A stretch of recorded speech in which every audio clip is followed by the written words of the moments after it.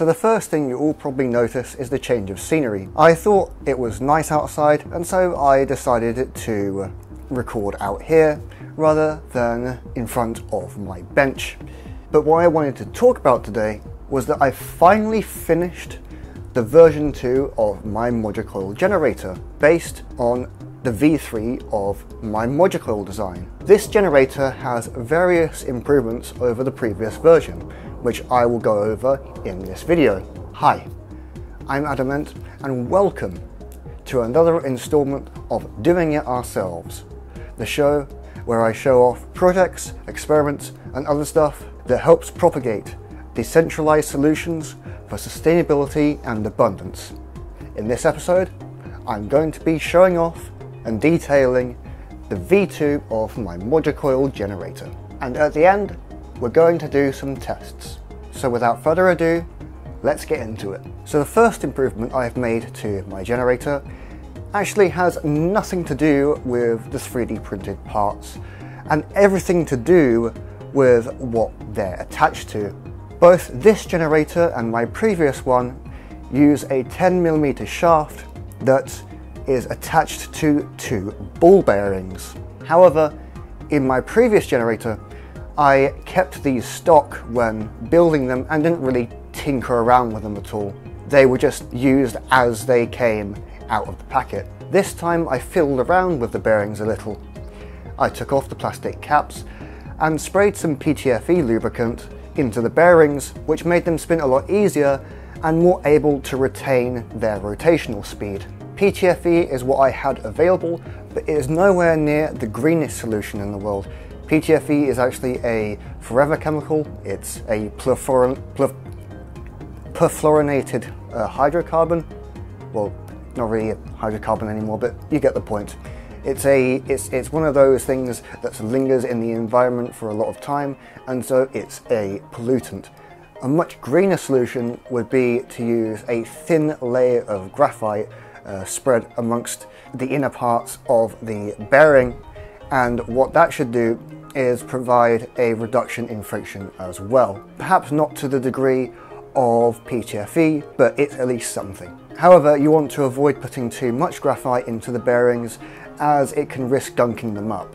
And as you can see here, it's a night and day comparison between the uh, bearings I lubricated and the stock ones. And obviously this means that it will be much easier for the rotor of my generator to spin around and generate energy. Do keep in mind, however, that there is a trade-off and that is that if you do lubricate them in this way, the bearings will wear down a, little bit more quickly. Next is the Moducoils themselves. This generator uses my V3 Moducoil design, or you could call it a actually 3.5 because I had to make a minor edit in order to make it more printable and increase its uh, mechanical strength I found that the original V3 was very delicate, especially when I printed it on my uh, larger nozzle, and I had to make the edit in order to make uh, this design viable. On top of that, these coils are printed on a standard 0.4, which gives them a lot better print quality, and using the 0.4 nozzle didn't really increase the print time all that much. Nevertheless, the rest of the coil holder is basically the same as before, as I say, apart from the edit I made to the rotor facing side. For each of these, I was actually able to wind 800 turns of 0.2 millimeter wire, and on measuring the resistance, I found that each coil has approximately 27 to 28 ohms. When I was done winding each coil, I could utilize the cable management slots, which were a feature I introduced in my V3 design to reduce mess and to decrease the risk of tangling and the wire getting caught in the rotor, which was a problem with the V1 generator. Anyway, after I doubled up the ends and stripped off the insulation, the coils were ready to be used. Next, the rotor. My intent with this design was to reduce the height of the generator overall, specifically the stator coils, so that I could have more turns of wire with less overall wire length. And this means less resistance, which means that these coils will be able to provide more current as a result. See Ohm's law. The magnets I'm using for this rotor are, as such, shorter. This shouldn't tangibly reduce efficiency or output, and it helps reduce the package size of the generator as a whole. Like the previous design, the rotor for this generator uses a Halbach array, which in plain English means arranging the magnets in the rotor so that the rotor has a few very powerful poles as opposed to many weaker ones. Halbach arrays also reduce the amount of magnetism that's wasted by having half of the poles facing away from the stator like in a regular motor or generator.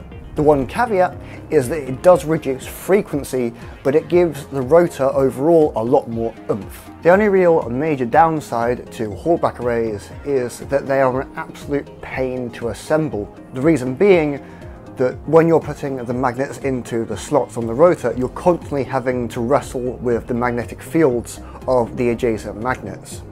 And that complicates manufacturing. Having a Halbach array means that you could emit uh, ferrous materials from the design, which simplifies things quite a bit. I assembled the rotor in a very similar way to the one last time, except this time instead of two rotor halves, I'm only using one, and for the other bits of the rotor, I am basically using a cap that I designed by essentially cutting off most of the rotor half in FreeCAD and, and making some adjustments and there we go, we have a cap for our rotor, which the STL will be available on my Thingiverse page along with everything else. Now I don't know why, but I had great difficulty in attaching the bottom bearing to the shaft of the generator and ensuring that it had a tight fit.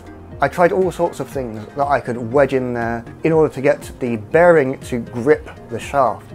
Uh, I tried PTFE tape, I, I tried uh, napkins, I tried aluminium foil. None of them worked. All of them kept breaking and tearing. Um, I even tried uh, a piece of copper, wedging a piece of copper wire in there, but that broke as well. What I ended up doing is getting fed up and just hot gluing the things together. But yet again, that's not the greenest solution. What you could do is use a piece of strong, thin cloth cut that down to size and wedge that in there and that should give you a snug fit. With the bottom cap, I was just able to use a napkin and tear away the excess and that worked pretty well. After essentially the bottom half of the generator was assembled, I began fastening the coils to the bottom cap. I made a change to the caps here. Instead of having slots where the coils could loosely fit into and then have two screws which sort of fasten the two halves together. What you have instead now is these slots where you can insert screws into and you can fasten the coils directly onto the stator caps. This reduces wobble from the coils and it actually makes the generator a little bit more sturdier. Now I kind of made a mistake here in that I forgot to take into account in my designs the fact that the two bolts that hold together the two halves of the rotor, the ends of them protruded out slightly. The designs as they are don't actually give enough clearance for the rotor to, to spin. The way I got around that was to actually back up the top bolts of the uh, stator coils with three nuts and yes it looks tiny bit janky I don't think it looks too janky but it it works it gives enough clearance for the, uh, the, for the rotor to spin and for everything to work properly. For connecting everything together, I decided to completely ditch the crimps and instead opt for Wago connectors. And what this does is it gives the generator basically full modularity, which is kind of the spirit of the design. And Additionally, I actually find that it gives a better connection between the coils than the, even the crimps did. Probably because I was bad at crimping or something like that. But anyway, I found these gave a more reliable connection. And in my opinion, they look a bit nicer too. Connecting the coils of the generator start to start and end to end was much easier this time. And in the future, if I wanted to, I could change the wiring configuration.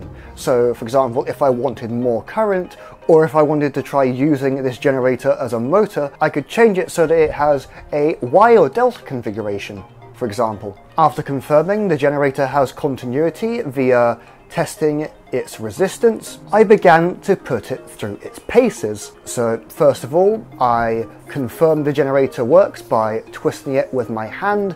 I got a few volts out of it, and then I decided to rev things up a little.